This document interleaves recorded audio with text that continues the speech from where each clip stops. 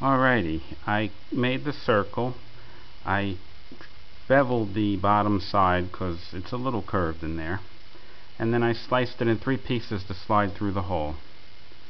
And I also put a bevel on the profile going in because the flame can is going to be fighting and the heat's trying to get through so that will kind of prevent uh, an open passage straight to the bottom uh, so that's the idea. Now I'm just going to put it right through the hole